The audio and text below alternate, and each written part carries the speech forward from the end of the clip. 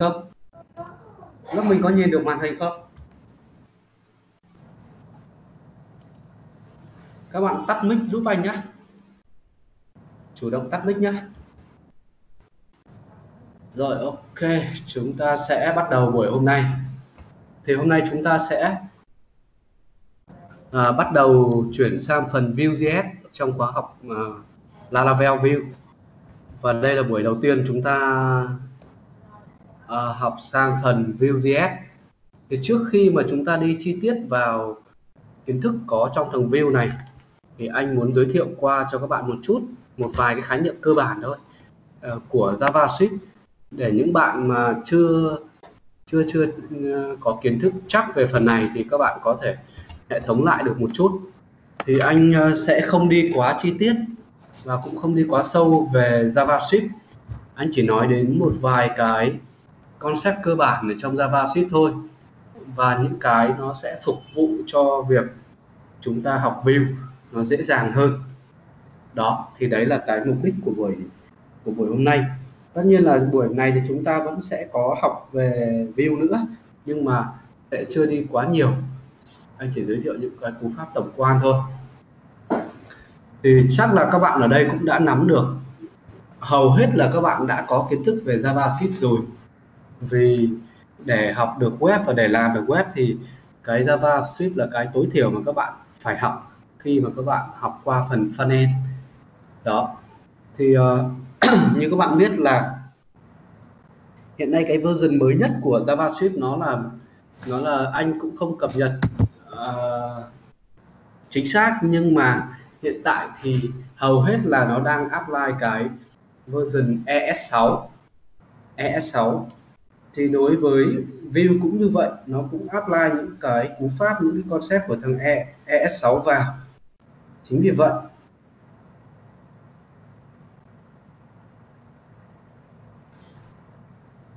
chính vì vậy mà uh, trước khi học vào phần view này thì anh sẽ nói qua một chút về cái thằng ES6 thì bản chất nó là những cái cú pháp mới thôi và nó có ở trong thằng và chúng ta sẽ dùng nó ở trong JavaScript. Được chưa? Đầu tiên anh sẽ tạo nên một cái folder. Anh sẽ để là đây một của phần view. Đó, trong đây một anh sẽ có document md thì buổi hôm nay chúng ta sẽ nói về ES6 một vài cái khái niệm trong ES6 ES6 đó. Anh sẽ tạo ra một cái trang, một cái page một như thế này. Cái page là page 1.html đó. Và trong page 1 thì anh khai báo như thế này. JavaScript ES6 đó. Được chưa các bạn? Và ở trong đây, anh sẽ làm gì? Như các bạn biết là để định nghĩa và để sử dụng được code của JavaScript thì các bạn sẽ phải khai báo thẻ. Giống như là các bạn dùng CSS thì các bạn phải khai báo cặp thẻ style còn đối với JavaScript thì các bạn phải khai báo cái thẻ script như thế này. Được chưa? Và bên trong này thì chúng ta sẽ có code JavaScript ở đây. Được chưa các bạn? Và cách thứ hai nữa là để sử dụng được JavaScript các bạn. Hoàn toàn có thể tạo ra một file JavaScript ở bên ngoài. Và cái tên file nó sẽ là. chấm .js như thế này. Ví dụ ở đây anh để là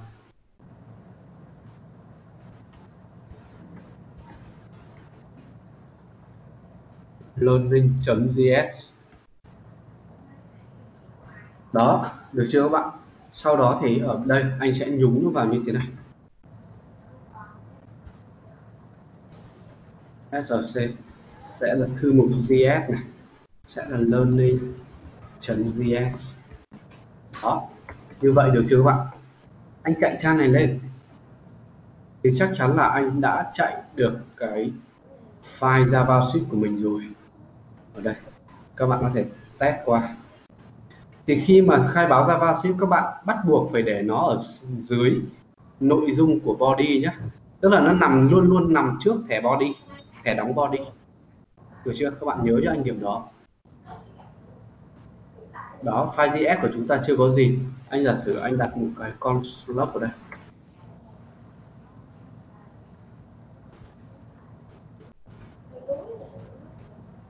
Đây.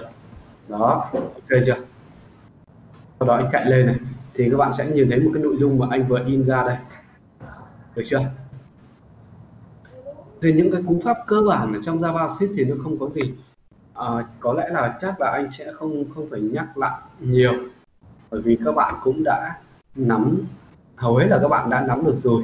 Đầu tiên anh sẽ nói về cái concept let và va. Đây là hai cái khái niệm về khai báo biến ở trong JavaScript đó led thì nó có từ thằng ES à, trước đó version trước đó nó cũng đã có rồi. ES6 à, thì LED thì bản chất của nó cũng dùng để khai báo biến. Ví dụ anh để là array bằng 10 như thế này. Đó sau đó anh khai báo một cái biến va cũng có tên biến. Như thế này. Hai cái này nó khác nhau như thế nào? A. Đây anh giả sử anh chạy vào trong chương trình của chúng ta anh khai báo một cái biến va là every, anh gán bằng 10 sau đó anh lại gán tiếp biến every bằng 100 anh console log lên. Array giá trị cuối cùng anh nhận được chắc chắn rồi nó sẽ là 100 giá trị cuối cùng mà nó được gán được chưa? Sau đó anh để đây là less bằng 10 sau đó anh lại gán lại less bằng 100 thì các bạn các bạn thấy là là nó không có thay đổi gì. đúng không, đúng không? nhưng nếu mà anh để như thế này.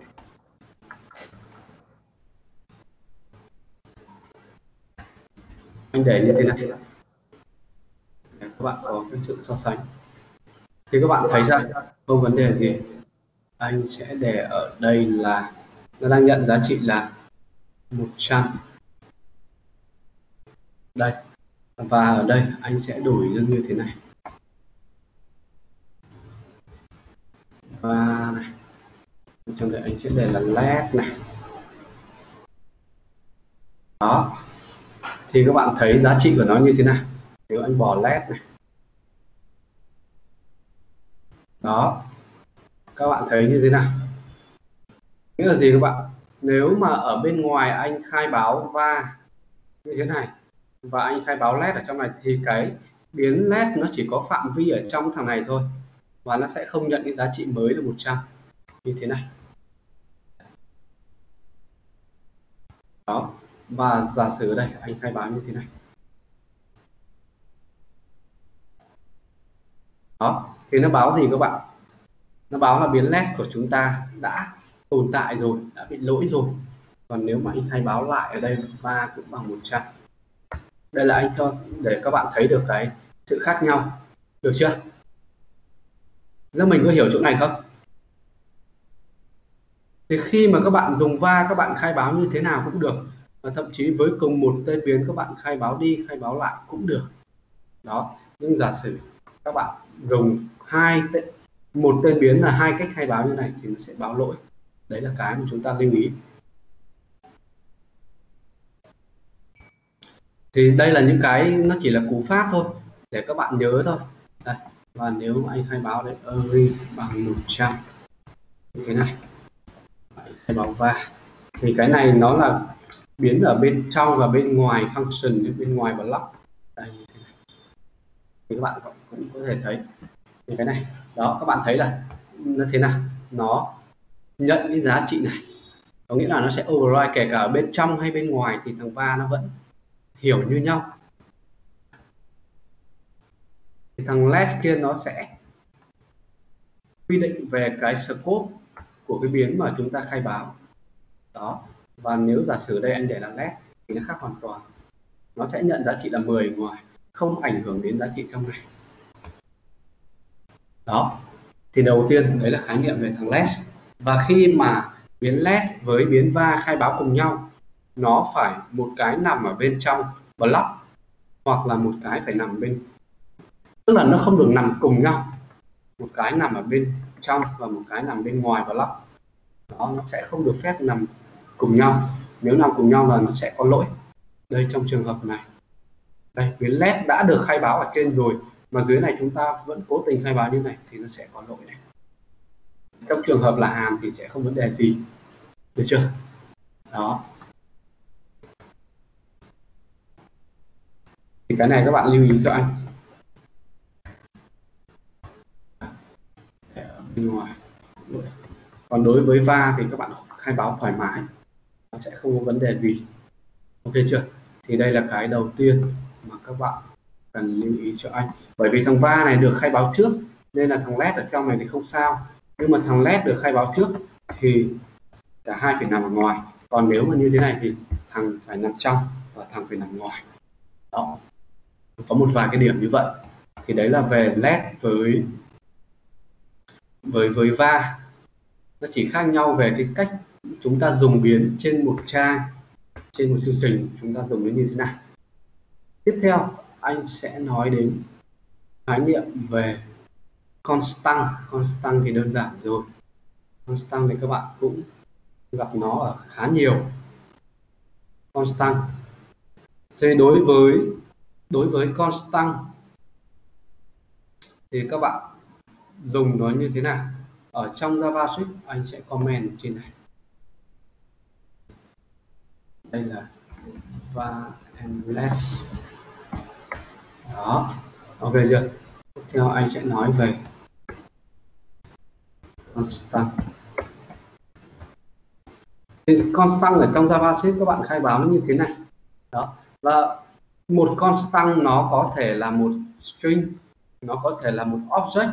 Sau này các bạn làm việc với view các bạn sẽ thấy là khai báo constant nó có thể là một mảng hoặc là nó có thể require cả một cái file css vào. Đó các bạn hiểu đơn giản như vậy. Cái khái niệm về hàng ở trong JavaScript ấy, nó cũng không khác gì với hàng ở những ngôn ngữ khác. Có nghĩa là hàng nó là một cái biến tồn tại duy nhất và chúng ta không được định nghĩa lại ví dụ anh để là red như thế này. Anh sẽ console log cái hàng này lên. Và thông thường đối với hàng thì chúng ta sẽ viết hoa tên của hàng constant này. Thì chúng ta sẽ viết hoa. Đây được chưa? Nếu anh cố tình khai báo một cái như thế này. Đấy, vẫn là khai báo color nhưng gắn giá trị khác. Thì nó không giống như biến. Nếu biến thì là được đúng không? Nhưng đây thì chắc chắn là sẽ không anh cậy lên. Này đó đây này. Assignment to constant variable có nghĩa là chúng ta đang cố gắng assign giá trị cho một cái hằng đã tồn tại. Được chưa các bạn? Đó. Và ở đây anh có một cái ví dụ như thế này. Thì cái này thì nó ờ, là phạm vi uh, giữa biến và constant thôi thì nó cũng không vấn đề gì. Ví dụ ở đây anh có một cái biến là color như thế này. Đấy. Mua mấy mấy mấy mấy dép mỏng mỏng để đi trong mà luôn.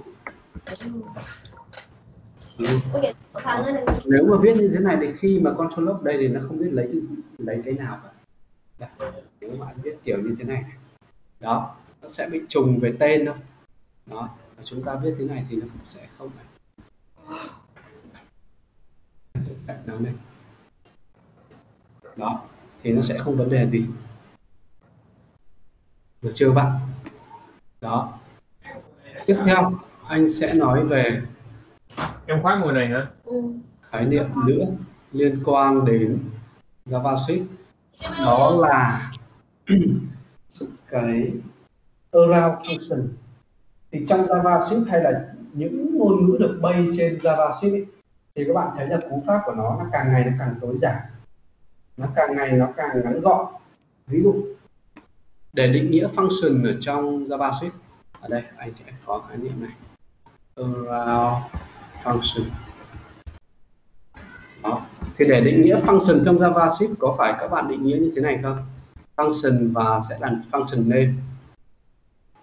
Function name. Có đúng không? Có phải là các bạn định nghĩa như thế này không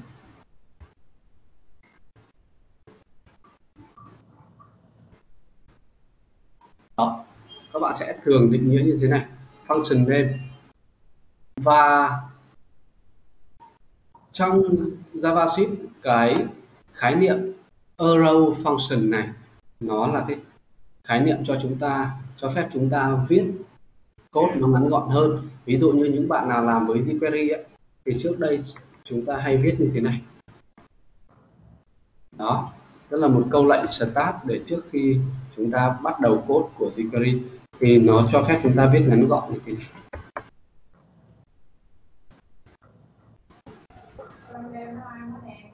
Đó nó sẽ kiểu như vậy. Và tương tự function cũng như vậy. Giờ đó, anh tạo ra một cái function như thế này. Chồng cũng nha. Anh hoàn toàn dụ trường hợp chúng ta gắn function vào name ấy, đỡ ngọt ha ờ, name như thế này thì chúng ta sẽ định nghĩa như thế này cái bàn đây nó lịch sự đó. bình thường là chúng ta sẽ định nghĩa như vậy. Trong đây anh sẽ còn block đây như thế. Này nữa để cái Đây rest name anh giả sử như vậy nhé khi mà ha gọi những cái rest name anh chỉ cần đây đây cách đây đây này. mời mua con đây là thôi à, đấy là console log là get name coi mua cái gì dán vô cũng được bự lắm nha các bạn không thích nhá. Tại vì anh cũng đang không đeo tai nghe nên không để ý. Đó. Thì các bạn thấy là sẽ thấy ra được get name như thế này. Thì cái cách viết ngắn gọn của nó thì nó sẽ có thể viết như thế này. Đơn giản như thế tức là chỉ có name như thế này thôi. Bổ hơn hẳn luôn em cái này thì vẫn chưa thể hiện được nhiều. Hồng ánh sáng luôn Đây, chúng ta sẽ chỉ có như thế này. Thì nó cũng chạy. Đây. đó lúc này chúng ta sẽ viết nó thành cái cách viết như thế này. Được chưa các bạn? Và anh chạy lên. Thì kết quả của nó tương tự như vậy. Thì cái khái niệm về thay đổi cái cách viết function như thế này anh sẽ để lại cái cũ nhé và cái mới để các bạn nhìn. Thì các bạn sẽ nhìn thấy được cái sự khác nhau Không học đi. lịch sự quá ha Đây, bình thường nó dài dòng nó sẽ như thế này. Đó còn cái cách viết sau khi mình apply thằng đây là cách cũ này. Mới này. Đó thì bình thường nếu mà các bạn mà cách của ES6 bình thường nếu mà các bạn mới làm quen với JS và quen với cách viết cũ này rồi sang những phần code của JS Framework hay là những cái code mà các bạn tham khảo thì các bạn sẽ thấy rất là ngợp. Ngợp ở chỗ là nó sẽ có những cách viết nó rất là mới. Nó cách viết rất là mới. Nên là chúng ta sẽ thấy Ờ, nên là chúng ta sẽ thấy là đôi khi các bạn sẽ sẽ sẽ bị khó hiểu. Đó. Đây. Thì đây là cái cách viết mới này thì các bạn thấy nó khá là ngắn gọn. Đối với trường hợp đặt tên biến như này thì chúng ta không cần dùng tên như thế này. Đó. Hay là ví dụ như sau này các bạn hay dùng với thằng ACOS ấy, để chúng ta gọi gọi gọi uh, request lên server ấy. giả sử như vậy thì đây là URL này. ở đây nó sẽ là response. Đó. Thì bình thường chúng ta hay viết kiểu như thế này function. Và trong đây nó sẽ trở về một cái response như thế này. Thì sau này chúng ta sẽ viết nó thành kiểu ngắn gọn như thế. Này bỏ cái này đi. Đó. Và chính cái cách viết này, chính cái cách viết này nó sẽ quy định một cái khái niệm là zip context nữa. Thì sau này anh sẽ nói về thằng zip context đó thì các bạn chỉ cần hiểu cho anh cái khái niệm về thằng cái concept của thằng arrow function nó là như thế này. Tức là nó tối giản cái cách viết function đi. Ở trong thằng ES6 được chưa các bạn? Đó. Đây anh cũng có một cái ví dụ này. Đây, đây cũng là một dạng ví dụ. Đó. Thế đối với ES6 nó còn một khái niệm nữa. Nó còn một khái niệm nữa liên quan đến cái function này. Nó là gì? Nó là default value.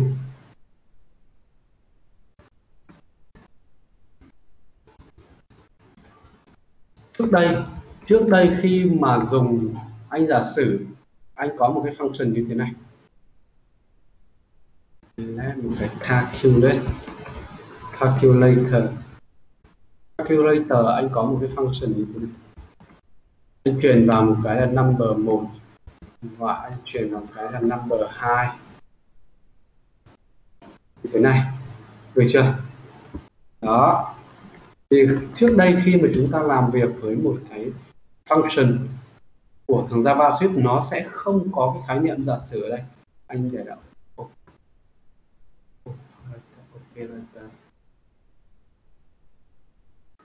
Đó. Nó, chúng ta sẽ sử dụng phép gì ở đây? Đó thì bình thường. Ví dụ như trước đây thì chúng ta sẽ không thể gán giá trị default của thằng operator này như thế này được. Đó. Mà chúng ta sẽ không dùng được cái khái niệm operator ở đây như thế này. Đây, nó sẽ như thế này. Anh để như thế này để cho dễ. Operator này ví dụ đây, default thằng này là 10 thì khi mà anh cộng giá trị này, anh cộng giá trị như thế này. Đó. Thì ở đây dưới này, anh gọi hàm thì anh chỉ cần là gọi calculator anh chuyển 5 này. Đó. Thì mặc định anh sẽ nhận được cái giá trị là 15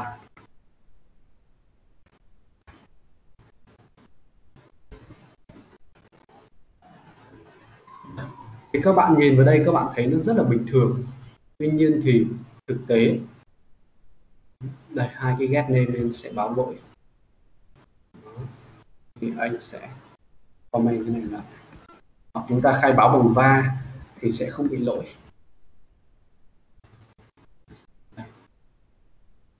Chúng ta tập trung vào cái hàng này.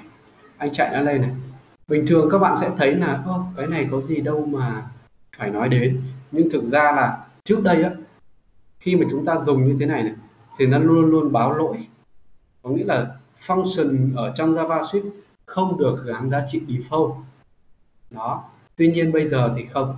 Bây giờ chúng ta với ES6 thì chúng ta làm được điều đó. Được chưa? Còn trường hợp nếu mà không có giá trị default mà chúng ta chuyển như này, nó giống như những function khác thôi. Đó, nó sẽ báo lỗi. Có nghĩa là vì thằng number 2 này nó bị undefined nên là nó cộng với một số nó sẽ ra cái giá trị này. Đó.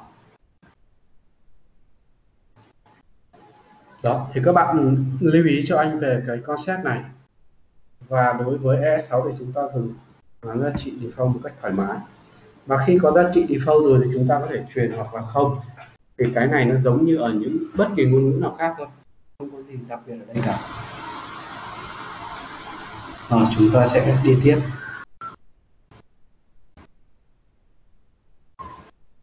Rồi, chúng ta sẽ đi tiếp này. Đây. Tiếp theo anh sẽ nói về class. Nó là một phần của lập trình hướng đối tượng trong JavaScript này. Đây, class. Thì ở trong JavaScript, cách định nghĩa class của nó cũng khá là hay. Nó sẽ như thế này. Ví dụ,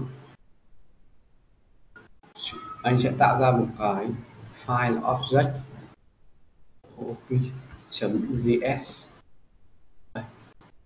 và ở trong đây anh sẽ tạo ra page 2 đi. Chúng ta thực hành riêng trên page 2 đối với cái này. Page 2 html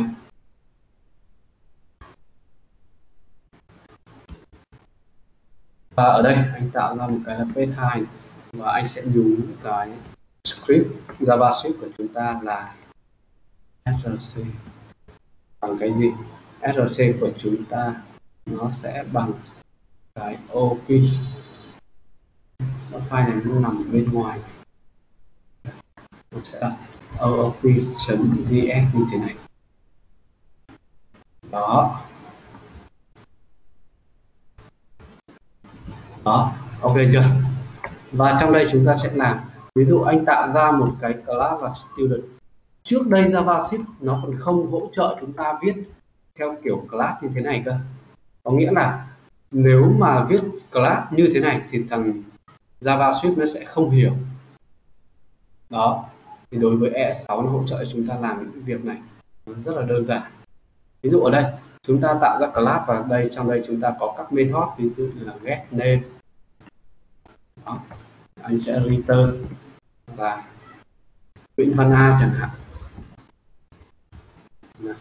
đó. Thế để sử dụng được một class ở trong JavaScript thì nó cũng giống như ở trong những ngôn ngữ khác. Nó cần khởi tạo đối tượng. Ví dụ anh tạo ra một cái đối tượng là student.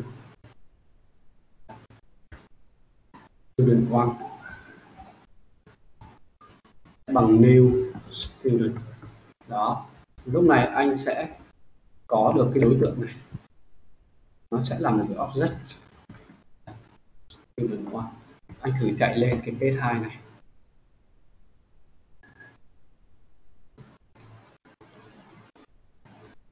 Đó, thì các bạn thấy nó là một object, được chưa? Đó, và chúng ta muốn sử dụng một cái method, một cái phương thức ở trong đây, thì nó sử dụng giống như trong Java. Cách dùng nó giống như trong Java. Ví dụ anh chạy console log là student one chấm guest name ngay lập tức anh sẽ lấy ra được cái nội dung nó đang return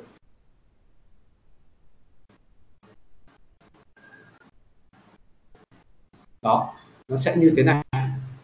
Được chưa các bạn? Đó.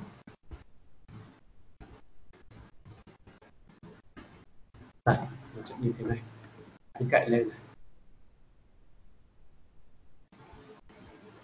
Ok chưa?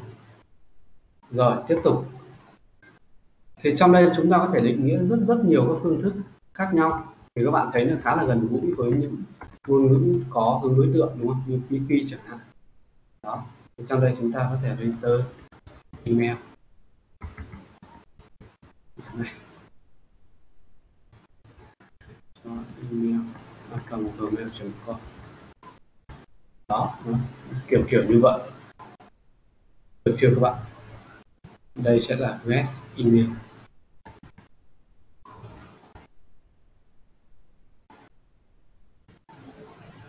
Đó. Được chưa? Và trong đây nó có một cái hàm gọi là contractor. Contractor. Giúp anh sẽ console log init class with object object Đây. anh chạy nó lên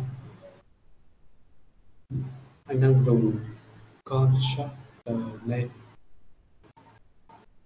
construct sorry anh viết thiếu. Đây. Đó. Thì cái hàm constructor này nó tương đương với cái hàm này, này. tương đương với cái hàm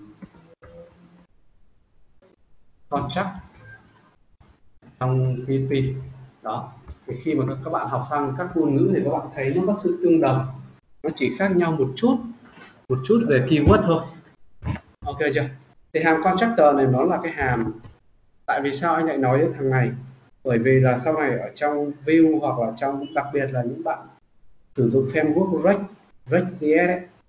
đây này, thì các bạn sẽ thấy hàm đó luôn luôn có luôn. React để mà nó khởi tạo mọi thứ ở trong thằng React các bạn có thể nhảy vào xem một cái à, default của nó thì các bạn sẽ thấy ngay. Ở trong một cái à, cây cụ thể là các bạn.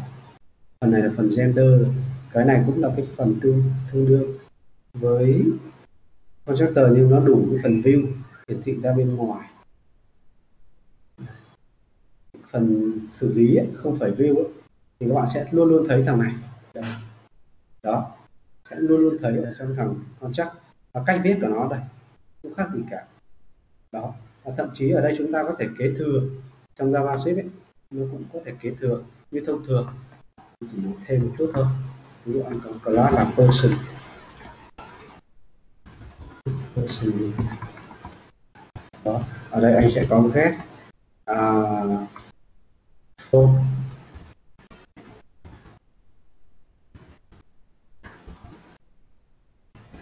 cho phone.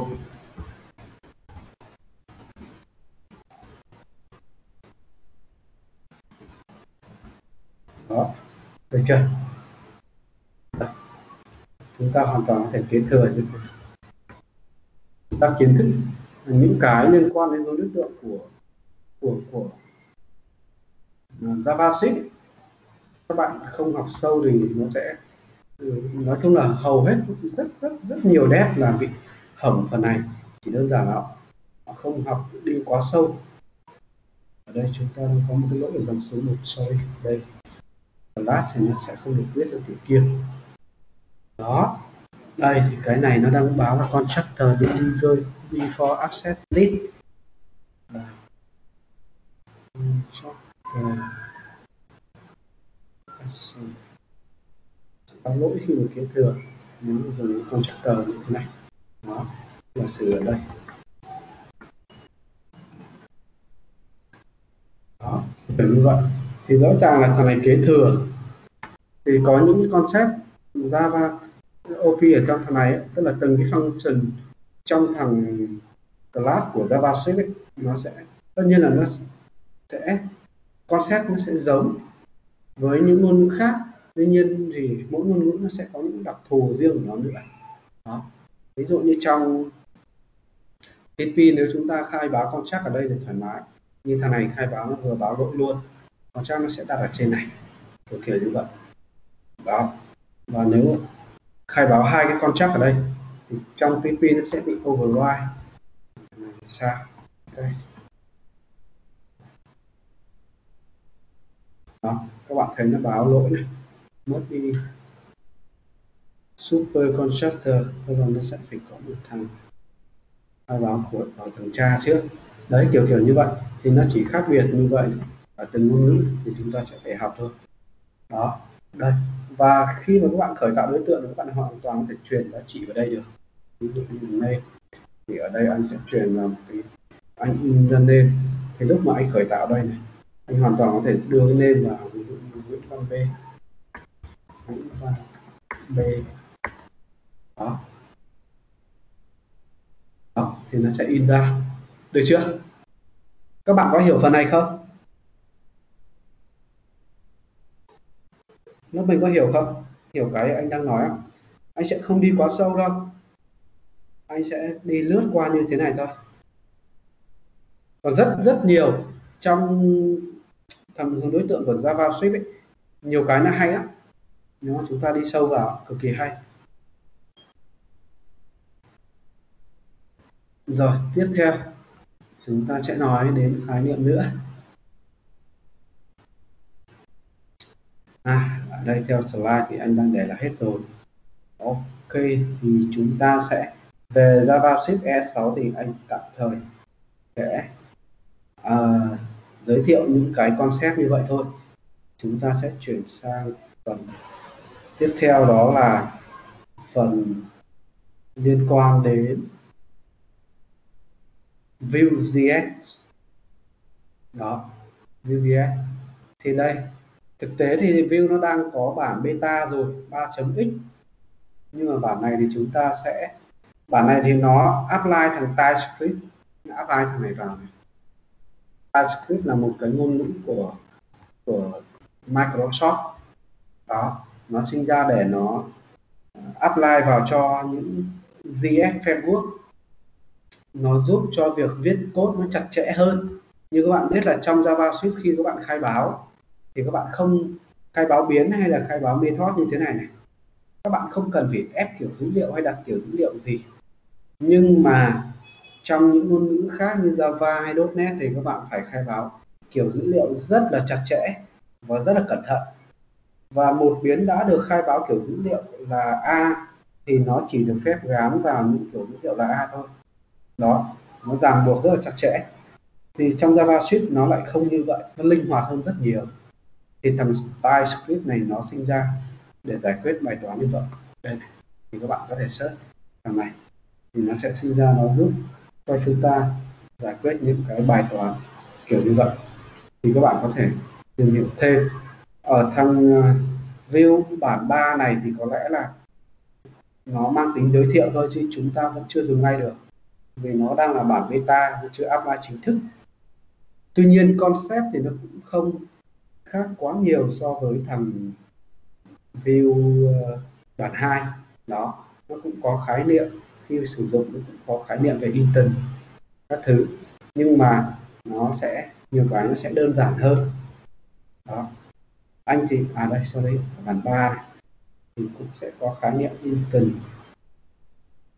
đây các bạn sẽ nhìn thấy có những cái liên quan đến instant khi sử dụng những cách viết của nó sẽ khác đi một chút. Nó sẽ khác đi một chút. Thì chúng ta sẽ không, chúng ta vẫn chưa sử dụng hồng view 3 ngay, bởi vì chỉ đơn giản là chúng ta sẽ chưa apply được nó ngay kể cả trong thực tế, cũng chưa có project nào dám dùng cả. Vì nó sẽ còn rất nhiều lỗi nữa chúng ta chỉ xem qua thôi. Đó, xem qua về cái cách mà thằng này nó có gì thay đổi ở thằng này. Kiểu như vậy. Đó. khi mà chúng ta làm thì chúng ta vẫn làm ở trên thằng view 2 hiện tại, khóa này. Đây, các bạn thấy như thế này. Đó, bây giờ anh sẽ quay trở lại thằng view 2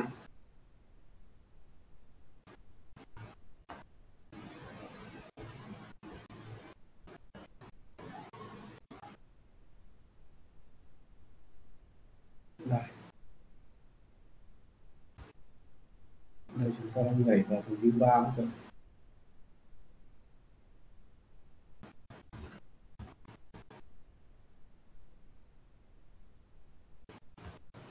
Này. thì giới thiệu view là gì? Các thứ liên quan đến view thì anh sẽ không đi vào quá sâu. Thì đối với phần này thì chúng ta sẽ tìm hiểu luôn về cách sử dụng nó. Đó, còn view nó là một framework được build từ JavaScript và cái phần co của nó thì các bạn sẽ có một cái uh, file liên quan đến việc làm thế nào để chúng ta có thể chạy được một cái project view thì nó cũng có rồi. Đó thì ở đây chúng ta khi mà chúng ta dùng view thì chúng ta sẽ giống như chúng ta dùng jQuery ấy, chúng ta sẽ phải import được cái thư viện của nó vào. Đó thì đối với view chúng ta sẽ import như thế nào? Thì có rất nhiều cách. Một là các bạn có thể dùng npm để các bạn có uh, import nó vào. Hai là các bạn có thể nhúng luôn cái source code thư viện của Vue như thế này. Đây Vue 2.6.11 thì đây là source code của nó. Được chưa? Các bạn nhìn vào đây thì các bạn cũng sẽ thấy rất là khó hiểu nhưng mà cả co và view nó chỉ có một file này thôi. Khá là đơn giản. Đó, thì như vậy thôi các bạn. Và vấn đề của chúng ta là chúng ta sẽ đi học các concept của nó. Thì đầu tiên, anh sẽ vào phòng view. Đây anh sẽ lấy lattice version anh lấy ở đây. Anh sẽ tạo ra một cái file là file. Anh sẽ đây là view instance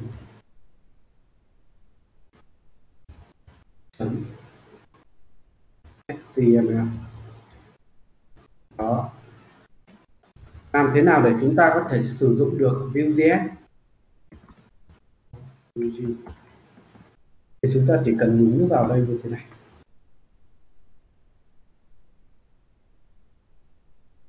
Đó.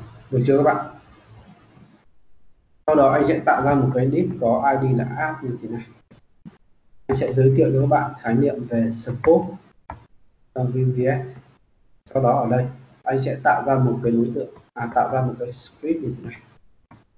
Đó để sử dụng được Vim thì bắt buộc chúng ta phải nhúng thư viện của nó vào cái đấy là rõ ràng rồi. Và sau đó chúng ta sẽ làm gì nữa? Thì chúng ta sẽ phải khởi tạo một cái đối tượng instance cho view và cái đối tượng intent đấy, nó sẽ có một cái phạm vi. Và cái phạm vi đấy nó sẽ dựa trên một cái thẻ trên trang. Một cái thẻ nào đó ở trên trang. Nó gọi là scope ấy. đây, thì chúng ta sẽ làm như thế này. Vì chúng ta có thư viện view rồi nên chúng ta khởi tạo một đối tượng từ view. Như thế này, đơn giản như thế này. Đó. Và trong đây chúng ta sẽ có một cái key. Nó viết tắt của element chúng ta chỉ định cái thẻ này, thì chúng ta sẽ khai báo như thế này. Thì khi mà chúng ta làm như thế này thì chúng ta được một cái instance anh sẽ tạo ra một cái gọi là let Inten mode. Cái Inten mode. Đó. anh sẽ con số lớp cái thằng này lên. Đó, được chưa? Anh chạy nó lên này. Trang của chúng ta sẽ đọc view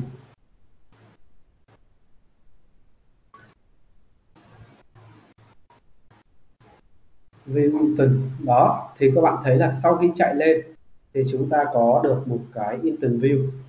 Các bạn nhìn vào cái instant view này, khi chúng ta khởi tạo này, thì nhìn nó rất đơn giản. Nhưng khi chúng ta console log lên, thì nó là có một cái object rất là lớn và rất nhiều thứ ở trong đây đó và trong đây có những gì thì chúng ta sẽ phải đi học. Được chưa các bạn? Thì khi mà chúng ta tạo ra một cái object view như thế này, và chúng ta chỉ định cái phạm vi của nó như thế này. Ta quy định cái phạm vi của thằng view instance một như thế này. Thì tất cả mọi thứ liên quan đến dữ liệu, liên quan đến những cái hành vi, những cái event thì nó chỉ có tác dụng trong cái thẻ list này thôi ví dụ trong div này nó có rất rất nhiều thứ khác thì nó sẽ chỉ có tác dụng ở trong đây thôi. Lớp mình có hiểu ý anh không? Ví dụ trong view nó có một khái niệm là data như thế này. Đó, tức là nó sẽ có dữ liệu như thế này. Ví dụ anh khai báo data này nó là dạng JSON. Trong đây JSON này chúng ta khai báo key value như thế này. Nên là Nguyễn Văn A. A. Thì ở bên ngoài này, chúng ta có thể lấy ra được Nguyễn Văn A thông qua cái biến name viên như thế này. Cú pháp của view nó gần giống như là Laravel. Đó, chúng ta in ra cái giá trị name Nguyễn Văn A như thế này. Anh cậy thử lên này.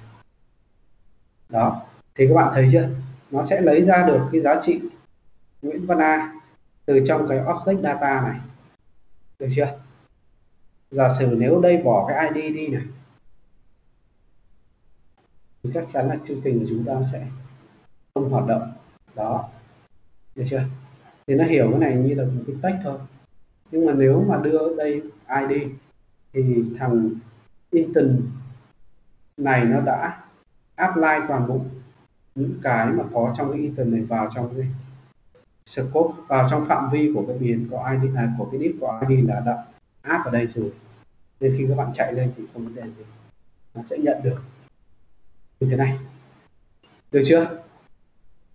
Lớp mình hiểu chưa?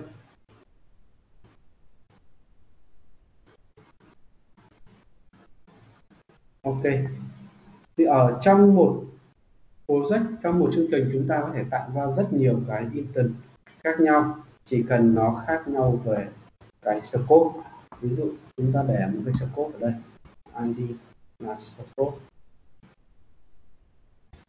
chẳng hạn chúng ta hoàn toàn có thể tạo ra một cái đối tượng instance như thế này.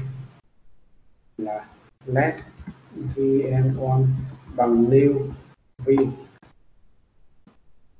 Và trong đây chúng ta cũng sẽ có element là gì? Là scope 1 id scope 1 như thế này. Đó được chưa? Và trong đây cũng hoàn toàn có thể định nghĩa n data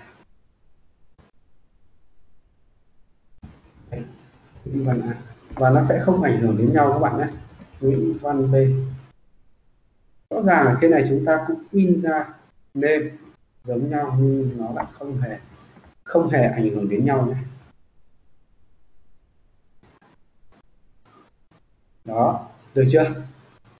Được chưa các bạn? Và từ scope ở trên này chúng ta có thể đọc dữ liệu ở các ở các uh, ở các instance khác nhau. Chúng ta thử nhé. Ví dụ ở đây. Anh sẽ để là created những cái created các thứ này anh sẽ giải thích sau. Từng lại anh xuống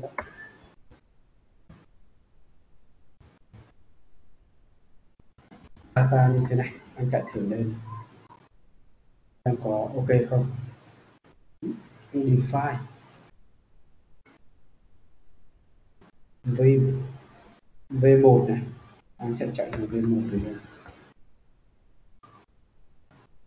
đó, thì chúng ta đọc được cái object của thằng V1 như thế này. Được chưa các bạn? Đó, sau đó chúng ta sẽ chấm data như thế này. Đó, và sau đó thì chúng ta chấm lên như thế này. Đó, nó sẽ thêm cái đô la như thế này. Bình thường các bạn nhìn đây V1 data, nhưng mà không đúng nó sẽ có thêm đô la. Đó, thì chúng ta vẫn lấy được giá trị ở thằng instance 1 và instance 2 à vào instance 2 như thế này. Được chưa các bạn?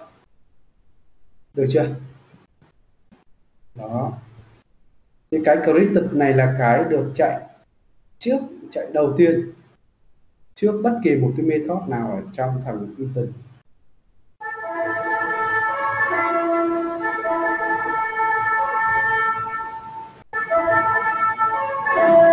đó. Thì các bạn lưu ý cho anh cái này. Đây. Nhìn thấy instance ở đây. Các bạn cũng có thể nhìn qua một chút. Đó.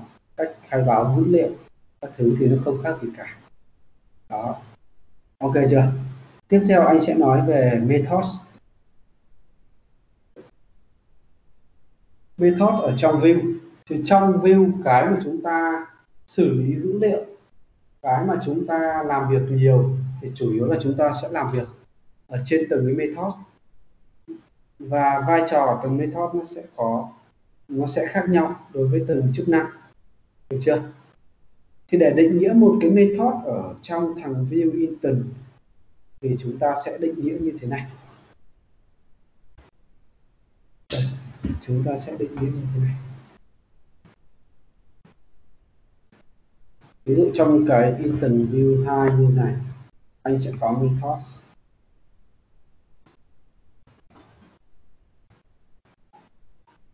đó, được chưa các bạn? Và trong đây chúng ta sẽ sử dụng các function giống như trong java JavaScript thông thường thôi. Ví dụ anh để là show message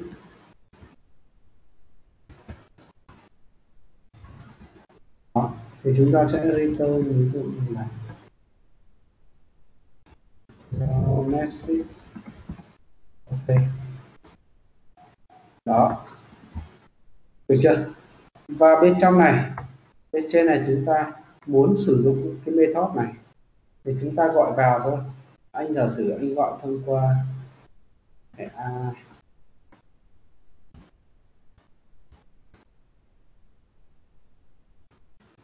click. Thì các bạn lại thấy có một khái niệm mới ở đây. Click. Bình thường các bạn sử dụng sự kiện on click để mà click bất kỳ vào một cái trang nào à một cái thành phần nào.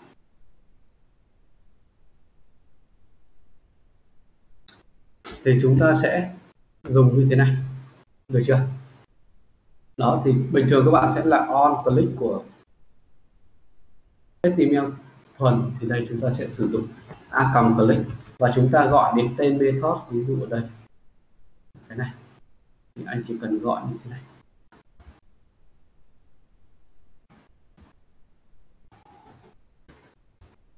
Đó, các bạn gọi function như thế này.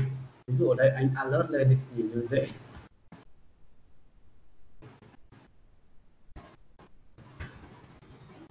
Đó, thì chúng ta sẽ chạy alert lên như thế này.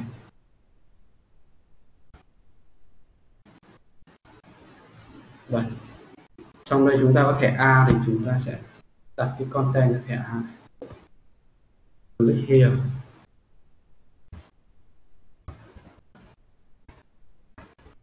Cái này rất cơ bản nhé. Các bạn phải hiểu được thì mới nói đến chuyện làm việc với view. Đây click vào. Đó được chưa? Thế đối với cách viết của thằng Vue.js ấy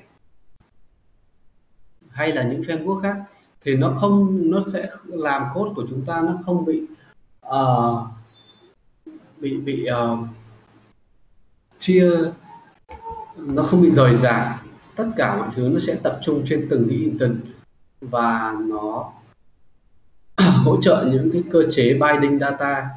Nên là nó làm việc nó sẽ rất là hiệu quả. Đây, anh sẽ chạy lên như thế này.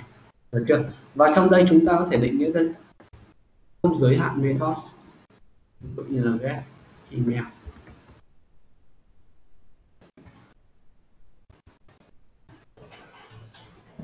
Cho email. Đó, được chưa? Rồi anh sẽ click vào get email như thế này. Đó, click.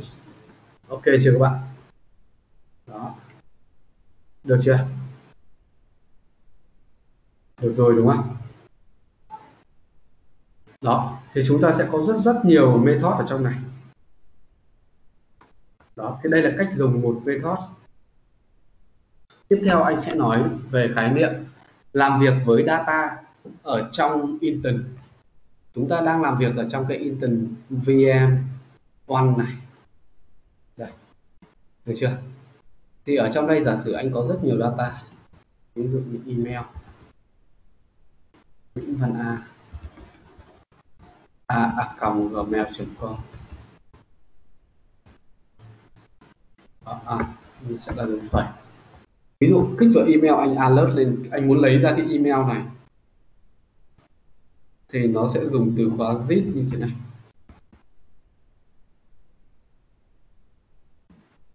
Đó. Anh sẽ dùng từ khóa zip như thế này. Anh chạy lên này. Đó. Được chưa? Đó. Ok chưa?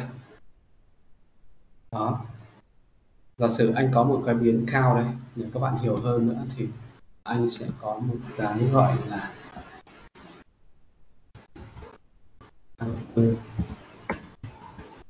ban đầu anh sẽ có một cái biến cao như thế này. Thì các bạn sẽ thấy là dữ liệu của nó nó sẽ nhất quán như thế này. Cao bằng một cao bằng không? Đó. Anh sẽ có một cái button để anh click vào. Ví dụ anh để là counter như thế này.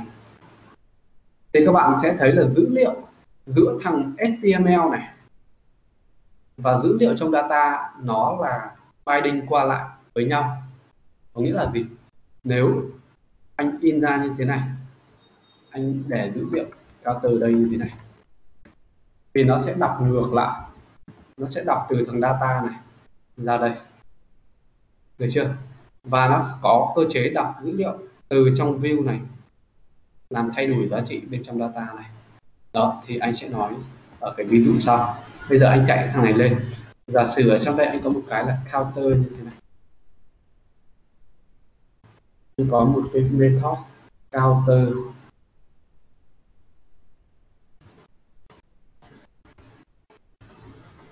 Như thế này. Được chưa? Và trong đây anh có method counter như thế này. Mỗi lần anh click vào thì anh sẽ gọi đến thằng chấm cao bằng một, tăng nó lên. Đây, anh thử chạy này. Các bạn sẽ thấy này. Thì cái xử lý này nó khá là đơn giản. Ở đây anh đang có một cái lỗi về cú pháp đây, chỗ này nó phải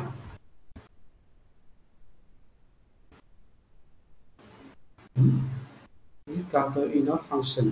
Thì chúng ta để tên function này với tên của biến data này nó gần giống nhau nên là chúng ta sẽ bị lỗi. Bởi vì trong view khi mà chúng ta gọi function với gọi biến ý, thì chúng ta sẽ có trường, trường hợp mà function không có tham số truyền vào thì chúng ta không cần cái dấu dấu đóng mở ngoặc đơn nên là anh để những kia thì nó dễ dẫn đến lỗi. Đó anh chạy lên này. Đấy, chúng ta cao này. Đấy, kiểu kiểu như vậy. Thì chúng ta xử lý mọi thứ ở InTern và thằng view này nó chỉ việc đọc dữ liệu đã thay đổi trong InTern ra thôi. Được chưa? Đối nếu mà các bạn dùng jQuery để xử lý chỗ này cũng được nhưng mà viết nó sẽ vất vả hơn đó, thì thằng này nó sẽ xử lý tập trung tất cả mọi thứ ở trong method như thế này. Đấy là cái cái cái liên quan đến method của Vim. Được chưa các bạn?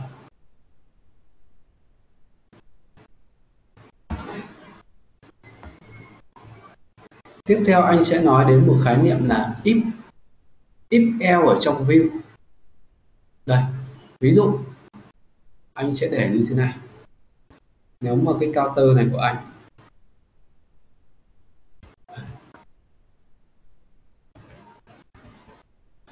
anh sẽ có một cái một cái điều kiện như thế này. Để chúng ta ứng dụng cái if else. If else ở trong method, ở trong đây thì đơn giản rồi, các bạn viết if else giống như là trong PHP thôi.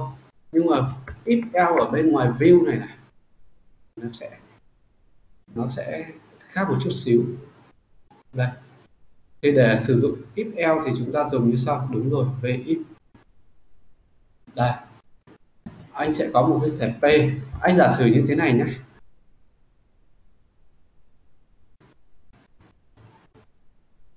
Giả sử khi mà anh nhấn cao như, như thế này nếu mà cái counter này là số chẵn nếu là số chẵn thì anh sẽ hiển thị một cái nội dung ở đây. Counter đang là số chẵn trái lại thì anh ẩn đi. Thì anh dùng như thế này. Anh sẽ viết một cái số như thế này counter đang là số trọng đó, sau đó anh chạy lên.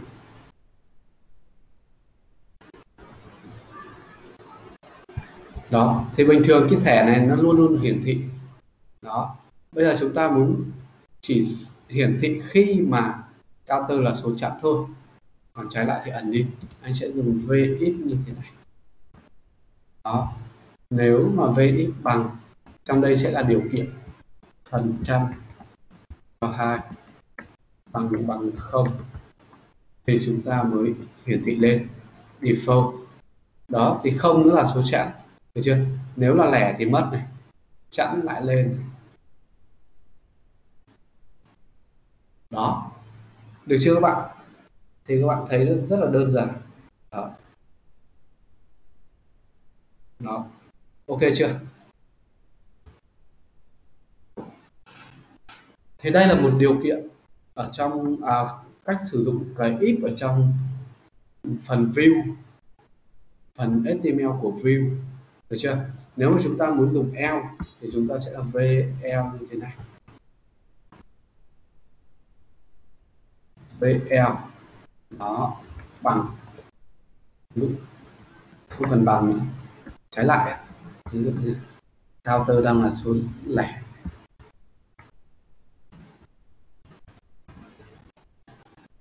Số lẻ, nó sẽ kiểu như thế này. Đó chẵn lẻ chẵn đó, được chưa? Ok chưa các bạn?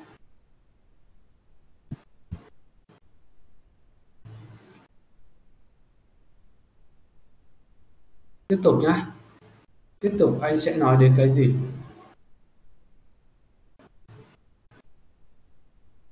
Tiếp theo anh sẽ nói đến khái niệm về vòng lặp. Biểu thức điều kiện ở đây rồi. Thì ở đây anh sẽ nói đến một cái nữa. Liên quan đến VX và V sâu. Thì cái thằng VX này có nghĩa là như thế nào? Anh để như thế này, bỏ thằng L này đi. Để các bạn nhìn thấy này bản chất của thằng VX này. Đây, cái thẻ P này này, sau cái counter này. Khi các bạn là số chẵn thì nó hiển thị lên này. Nhưng khi là số lẻ này, nó sẽ mất hẳn luôn. Tức là nó, gần như là nó xóa luôn thẻ đấy. Còn nếu mà là số chẵn thì nó lại update vào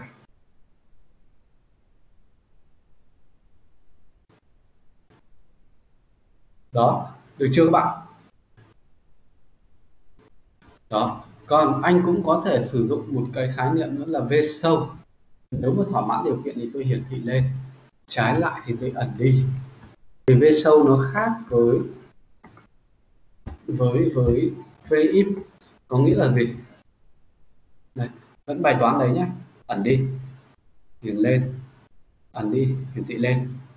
Đó nhưng về sâu nó khác hoàn toàn ở chỗ là dù nó ẩn đi nhưng nó sẽ không xóa. Đây, đang là số chẵn này nếu ẩn đi thì nó chỉ thêm cái style display 5 thôi. Được chưa các bạn? Các bạn nhớ cho anh mấy cái đó.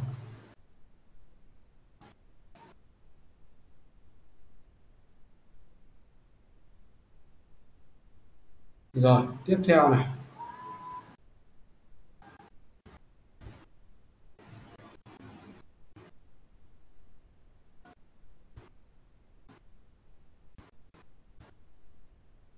Theo anh sẽ nói đến một cái nữa.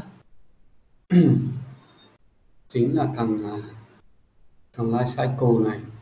Nói thì nó sẽ hơi lằng nhằng thì đây. Là thằng view sau khi mà các bạn cái này thì anh nói thôi nói theo bản đồ này thôi. Thì cái à, cái cái workflow của cái thằng view này đó là sau khi một cái instance nó được khởi tạo ấy, thì nó sẽ bắt đầu một cái gọi là một cái vòng vòng đời về cái request đấy. Thì đó. Thì nó sẽ ở từng cái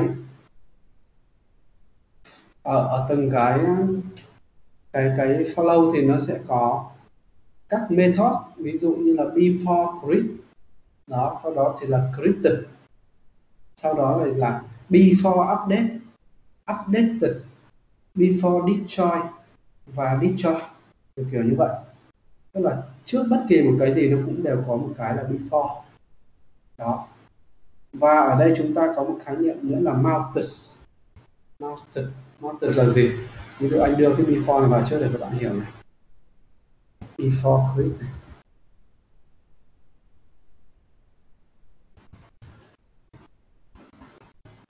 Alert lên nhé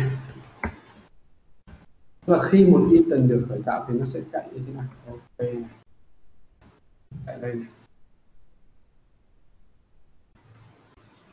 Đây, anh sẽ để như thế này trước này alert đây sẽ là before. Before create này sau đó nó sẽ nhảy vào thằng created đó, anh chạy lên. Sẽ chạy before create này. Rồi nó chạy created đó sau đó thì chúng ta sẽ có những cái như là mount mountains cái này các bạn phải nắm được để sau này mà chúng ta cần, trong một số trường hợp chúng ta sẽ cần. Đó. Mounted thì nó sẽ đợi mọi thứ lốt hết lên, chạy hết lên thì nó mới chạy. Đây, anh sẽ để là alert already đó thì khi cái vòng đời của nó là khi một cái đối tượng được khởi tạo thì nó sẽ chạy qua từng cái step như vậy qua từng cái vòng.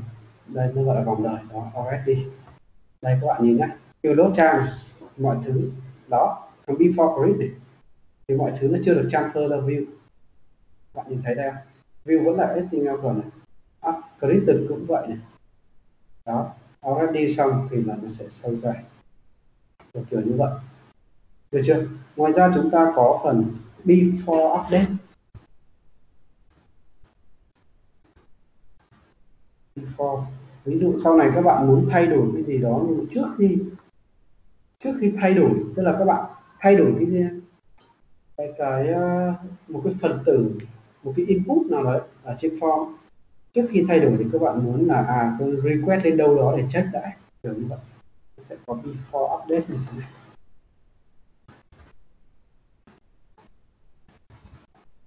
Đó và update từ tức là đã update thành công rồi. Đấy, như thế này thì nó sẽ có mấy cái method này. Alert sẽ là update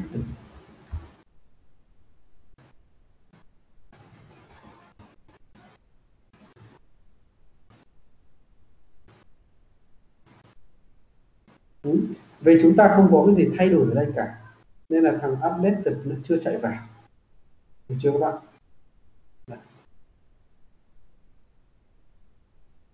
Đó, ví dụ khi anh chạy đây như này. Đó. Thì trước khi một cái giá trị thay đổi ở trên đây, trước khi cái thằng counter này nó được update này nó chạy thằng này trước. Đó, update thật. Đây kiểu như vậy. Chỗ này các bạn hiểu chưa? Lớp mình có hiểu chỗ này không? Tiếp theo anh sẽ nói đến cái đi cho cái tương tự cho trường hợp là chúng ta chúng ta xóa đấy. Rồi, anh sẽ đi tiếp nhé. Anh sẽ nói đến for. Anh sẽ demo hết những cái cơ bản ở trong này trước. Giống như các bạn học buổi đầu về PP ấy. thì chúng ta cũng sẽ đi qua những cái if else. Các thứ for thì để duyệt một vòng lặp ở trong thằng JavaScript thì chúng ta chạy như thế này.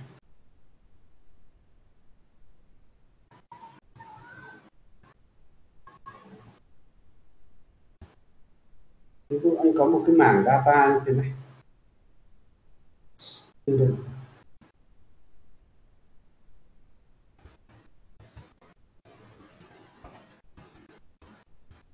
Student trong đây anh có rất nhiều student Nguyễn Văn Nga. Đó, đặt lặng như thế này. Đó, anh sẽ có student tiếp theo là Nguyễn Văn B.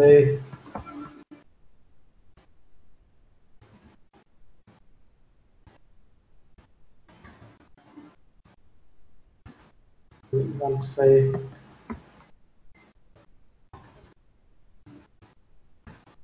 đây kiểu như vậy. Được chưa?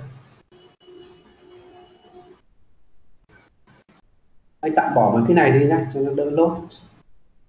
Bật cái alert lên khá là khó chịu vậy. Vì vậy nó sinh ra thành con số lớp lớp với con số lớp chúng ta xem data nó chi tiết hơn và nó không bị làm gián đoạn chương trình.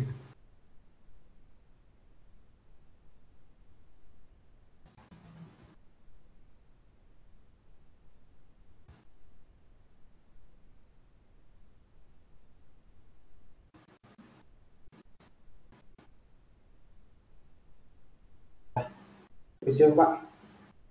Đó. Đây, ví dụ anh có danh sách student, anh giả sử anh muốn duyệt tất cả các student ra đây, danh sách ra đây, thì anh làm như sau. Ví dụ anh có một cái thẻ LI anh muốn lấy ra danh sách student anh chỉ cần v-for như thế này, và anh chuyển biến student của anh vào. Cú pháp thì như trong JavaScript for in như thế này mỗi lần anh sẽ lấy ra được một student Đó. và student này có key là name thuộc tính name thì anh sẽ lấy ra name chấm name đó được chưa các bạn? Đây, anh sẽ chạy ở đây. Đó. Ok chưa? Thì đây là liên quan đến cái for ở trong view của Vue.js ngoài ra chúng ta còn khá là nhiều thứ nữa. Thì những cái mà chúng ta đang làm ở đây này, v for v sâu hay là vx thì đó là nó gọi là directive. Directive. Thì trong view nó có khái niệm về directive. Thì chúng ta sẽ làm quen với nó nhiều hơn thì đây là những cái directive có sẵn trong Vue.js ngoài ra thì nó còn rất rất nhiều các directive khác nữa đây. coi ở đây thì chúng ta sẽ nhìn thấy này. nó sẽ có những khái niệm về Vue directive anh sẽ mở một vài cái này. vbin như thế này, cũng là một dạng directive đây. vx này, đó vbin kiểu, kiểu như vậy. Vay on. Kiểu như vậy. Thì nó có khá là nhiều. Thì, tuy nhiên thì chúng ta cũng sẽ làm một project thì chúng ta gần như là đụng vào hết từng cái. Tiếp theo anh sẽ giới thiệu với các bạn một khái niệm nữa. Đó là khái niệm về watcher. Khái niệm về watcher ở trong thằng Vue.js nhưng mà chúng ta đang đi hơi sâu. Anh định nói những phần đó vào trong component. Người thôi anh sẽ nói ở phần này luôn. Watcher là gì? Watcher là nó sẽ lắng nghe cái giá trị của chúng ta, cái giá trị bên trong vùng data này. Nếu nó có thay đổi, thì nó sẽ chạy vào trong watcher. Còn nếu không thì nó sẽ không chạy thì muốn watcher thì các bạn sẽ dùng cái cú pháp như thế này.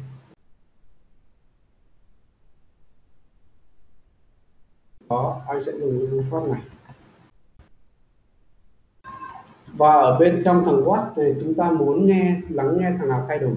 Ví dụ anh muốn lắng nghe thằng newer này. Đó, nếu mà nó thay đổi thì ở trong đây chúng ta sẽ có function như thế này chúng ta có thể nhận vào giá trị là value 1 value 2 như thế này. Anh thử con số lớp ở đây nhé.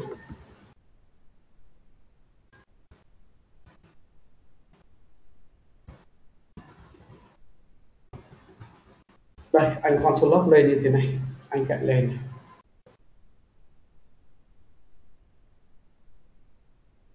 đó thì khi mới vào về thằng counter của chúng ta các bạn này. Nó có giá trị là không. Nó chưa thay đổi gì cả. Nên thằng watcher nó chưa chạy. Nhưng nếu mà thằng counter của chúng ta nó tăng lên một này, thì các bạn thấy nó sẽ nhận hai giá trị. Thì cái giá trị đầu tiên này chính là giá trị mới. Đây. còn cái giá trị cũ là giá trị trước đó. Thì anh để new value này cho nó dễ và cái giá trị O value.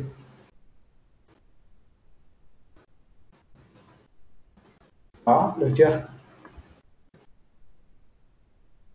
Khi mà chúng ta dùng thằng watch này thì chúng ta sẽ luôn luôn lắng nghe được giá trị của một biến bất kỳ bên trong data nếu nó có thay đổi. Cái này rất quan trọng nhé, ứng dụng cực nhiều.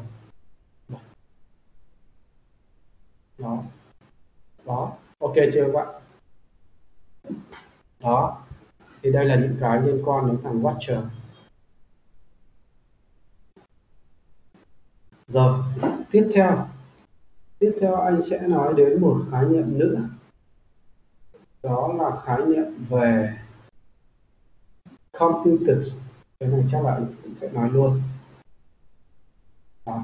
cái bản chất của thằng computer thì nó gần như là một cái biến trong trong trong thằng view. Tuy nhiên thì cái giá trị của thằng computer ấy, nó sẽ được cách nó sẽ được giữ lại. Cách ở đây có nghĩa là gì? Có nghĩa là nó sẽ nếu mà chúng ta không update không thay đổi gì thì nó cũng sẽ không không không có thì cái giá trị của nó nó sẽ là đọc mặc định từ trong cách ra. Còn nếu mà có giá trị thay đổi trên chính biến đấy thì nó sẽ update vào. Được chưa? Thì anh sẽ làm như thế này. Đây, chúng ta có một cái giá trị ở đây này. còn commuters cách với methods đây, ví dụ như thế này.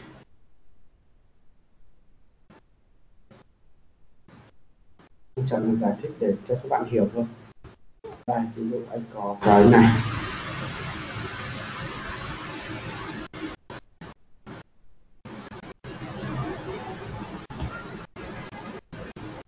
Anh sẽ có anh dùng luôn cái ví dụ kia.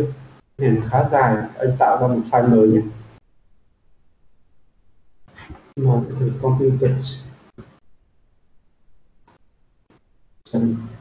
Html và anh sẽ copy toàn bộ cái thằng. Đưa nó vào v1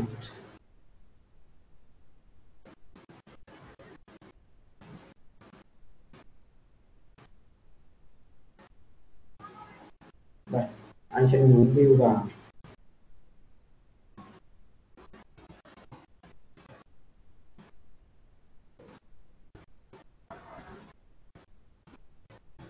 Demo để các bạn hiểu thôi anh sẽ có một cái ID app ID này.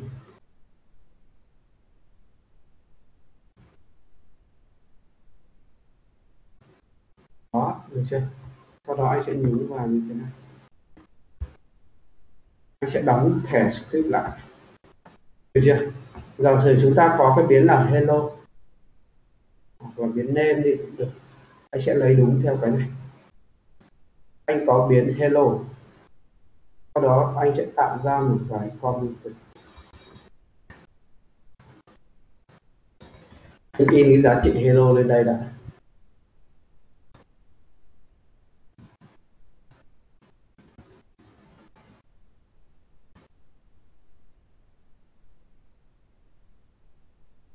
đó nó nằm ở trong message như thế này được chưa? Anh chạy nó lên. Thì chắc chắn là chúng ta sẽ thấy được cái giá trị này.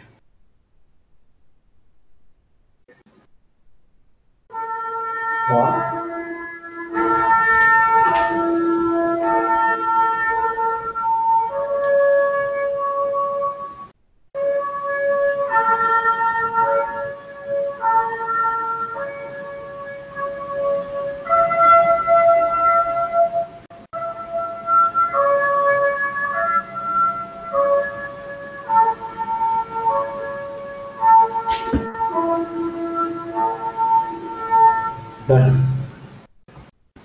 Chạy lên, thì các bạn sẽ thấy là chúng ta sẽ có được cái value như thế này.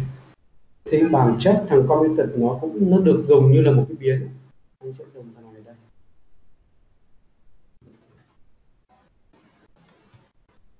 Đó, thì bản chất cái này, cái thằng này anh sẽ để là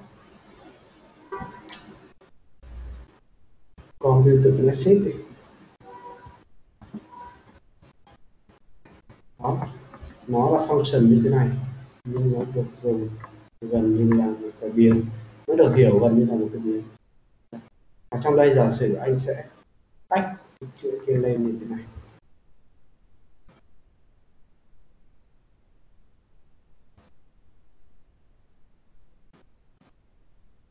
Đó, anh chạy phần này lên.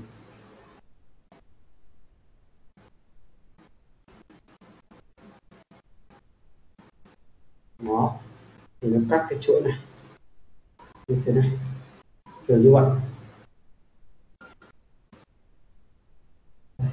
Thì đây là trường hợp để chúng ta ghép dữ liệu ra. Cái computer. Là thì nó này nó thay đổi.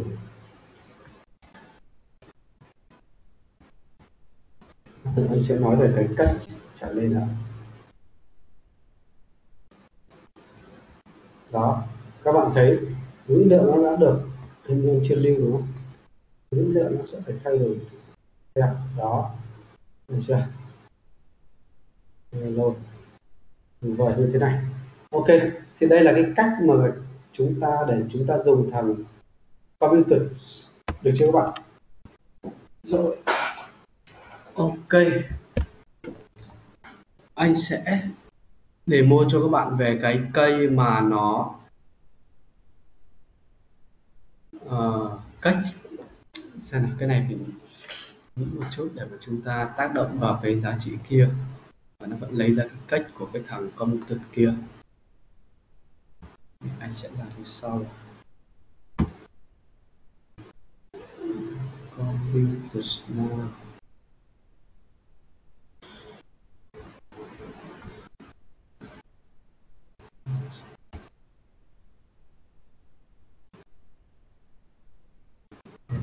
sẽ kết hợp với thằng watch này.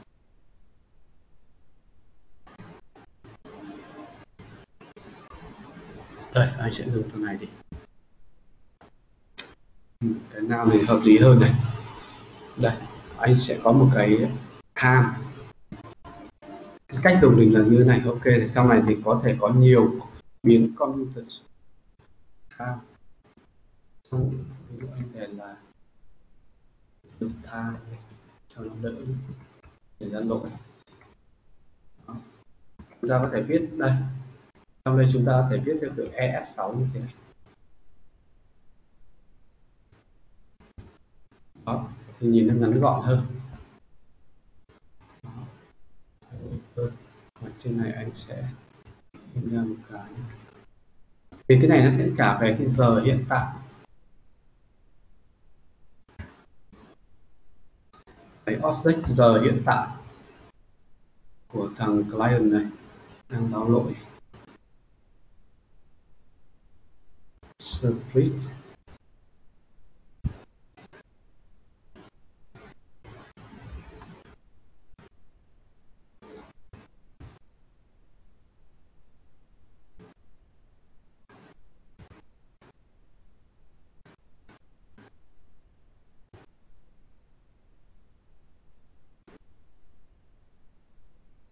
anh đang bị lỗi cái lỗi này nó thuộc tính speed undefined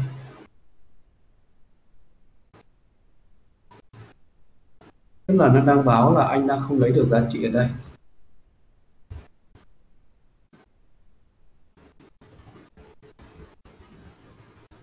Sự message này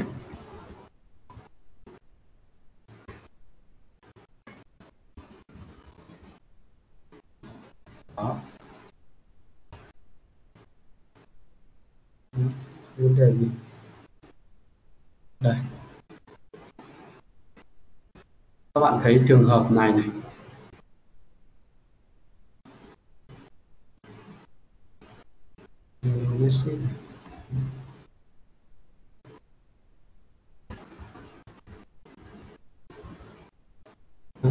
File à rồi. Đây. Vì anh thay đổi cái hàm này, thay đổi nó như thế này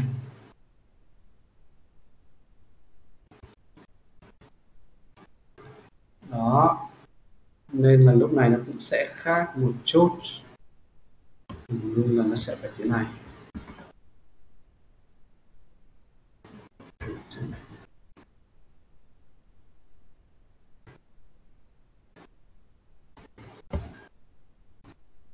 Đó.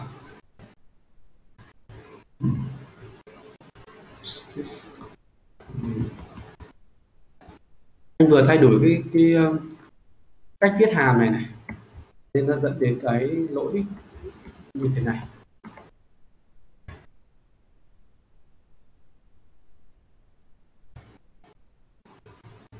Đó. Vì thằng zit ở đây nó gọi đến thằng message này.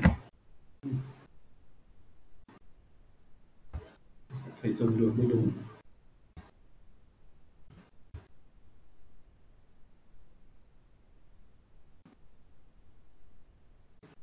Sống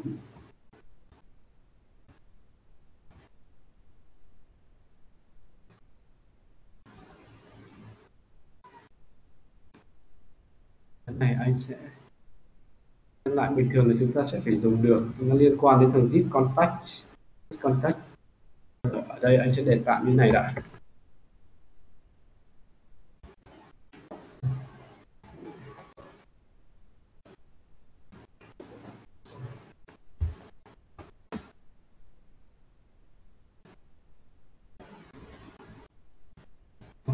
thì anh sẽ để tạm thời sẽ để đây đã.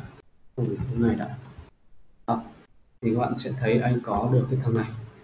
Nhưng mà ở đây chúng ta đang thấy là nó đang không hề lưu cách có nghĩa là mỗi lần gọi vào thằng này, thì nó vẫn luôn trả về cái nam.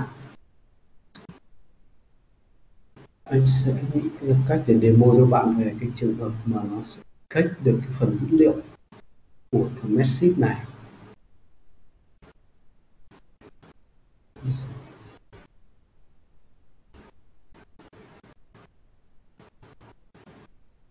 Ok, thì anh sẽ để ở một cái cây khác đây. Anh sẽ nói tiếp về thằng, khái niệm về thằng binding. Binding, đầu tiên anh sẽ nói về binding class trước. Thì ở trong trong thằng view nó có hỗ trợ cho chúng ta một vài cái kiểu để mà chúng ta thao tác với thằng HTML mình sẽ để là binding HTML này. Binding binding html chấm html ví dụ anh sẽ lấy cái page để sao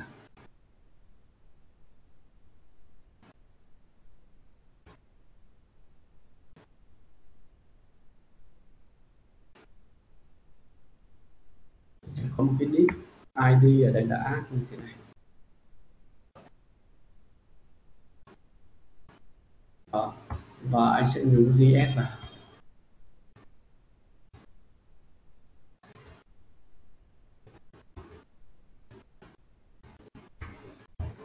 Đó.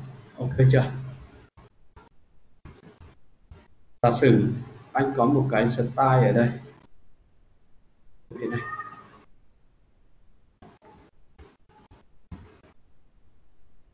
Đấy cứ cái nào là active thì anh có chữ màu đỏ.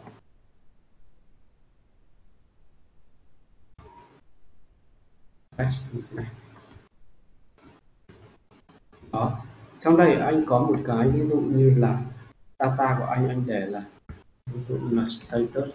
Anh có một cái biến status true như thế này. Đó.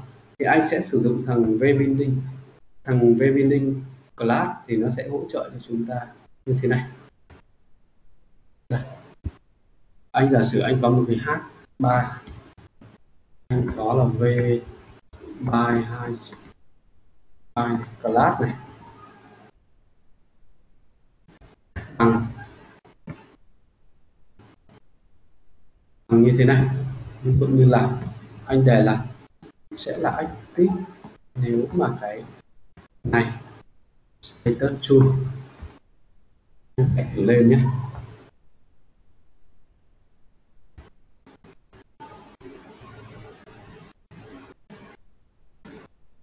Đây. Đây.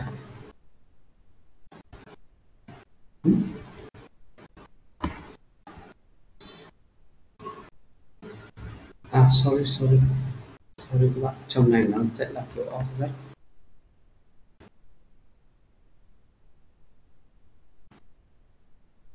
đó. Thì chúng ta sẽ xem nội dung của thằng này đây ví dụ như class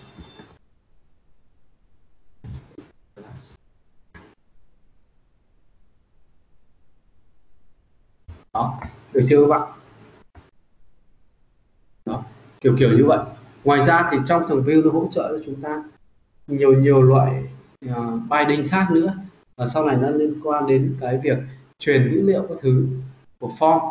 Thì đối với của form anh sẽ giới thiệu qua nhé vì buổi sau anh muốn dành cả buổi nói về component thì chúng ta lại đi làm việc lại với những thằng này.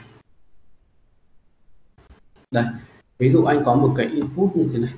Binding về mặt data của form input. Nếu mà các bạn làm việc với đây, và anh giả sử là nếu các bạn làm việc với jQuery thì các bạn thấy là khi mà làm việc với jQuery về việc làm việc việc mà các bạn xử lý form sẽ rất là vất vả. Thì với thằng view thì nó nhàn hơn rất là nhiều. Ví dụ anh để là name anh in ra một cái biến name thì như anh nói là dữ liệu của thằng view nó sẽ binding từ bên trong thằng intern ra bên ngoài phần HTML và nó sẽ binding ngược lại từ HTML vào bên trong intern kiểu như vậy ví dụ, anh có biến name default ở trong instance là Nguyễn Văn An như thế này. Đó, thì khi mà anh cậy lên này,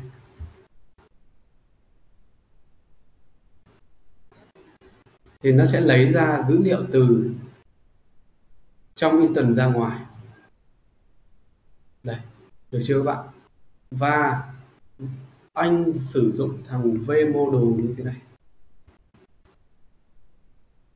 Đó và anh truyền vào là nền khi mà anh dùng vmodel như thế này và truyền vào là nền thì dữ liệu của anh nó sẽ cho phép binding từ trong à, từ bên ngoài template từ bên ngoài view HTML vào bên trong intent cụ thể là khi mà anh thay đổi giá trị của thằng này thì nó sẽ thay đổi giá trị bên trong intent và nó hiển thị ngược lại lên trên view. Được chưa? Đây. Đó. Các bạn nhìn thấy này. Ví dụ anh để là Nguyễn Văn B. Văn B như thế này. Thì nó sẽ thay đổi theo. Thì đấy là cơ chế của nó. Được chưa các bạn?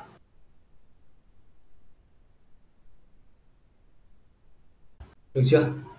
Đây. Nguyễn Văn B. Kiểu kiểu như vậy cái này các bạn hiểu chứ?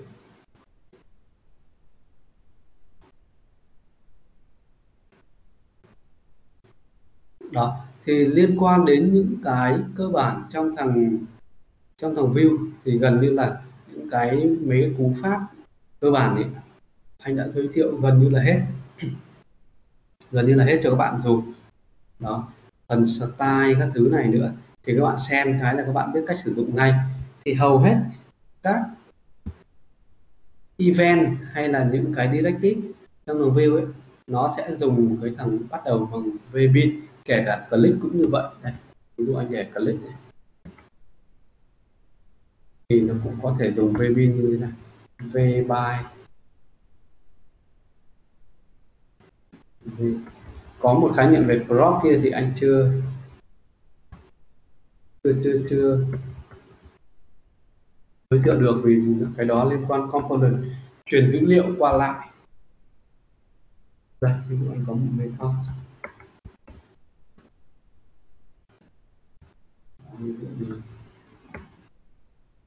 so message.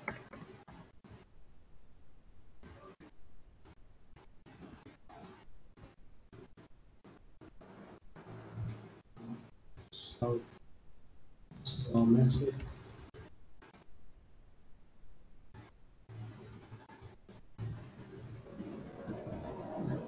Như vậy thì chúng ta vẫn dùng như bình thường.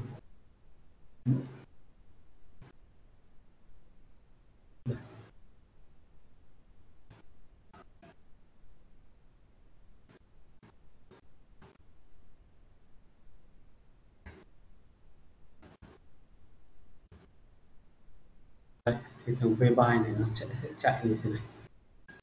Kiểu như vậy. Cứ lốt lên là nó sẽ phi vào đó.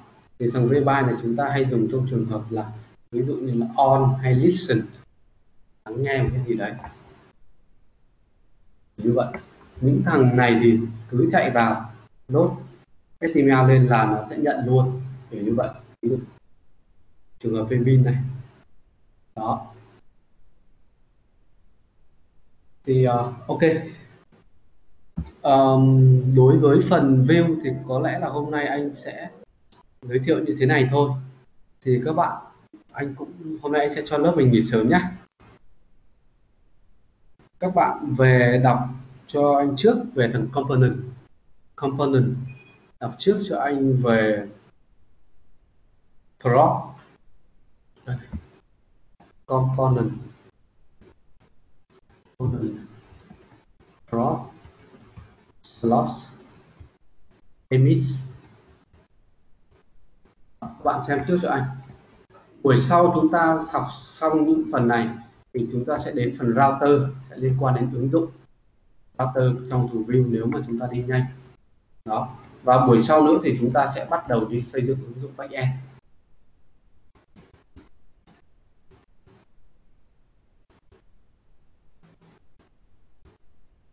Ứng dụng backend. Ok chưa các bạn? Thì ở buổi này chúng ta sẽ anh sẽ cho lớp mình nghỉ sớm nhé.